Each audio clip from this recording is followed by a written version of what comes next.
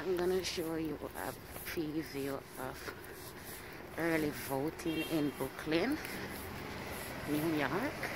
Yeah, Cal is gonna vote, so take Steve here.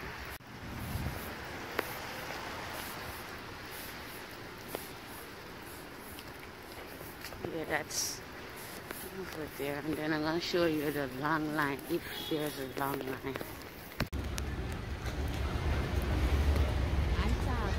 So we're here. It's not that bad, you know. I mean?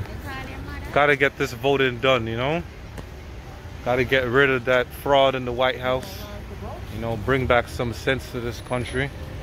You know, so I'm just here doing my part. Make sure you do yours too.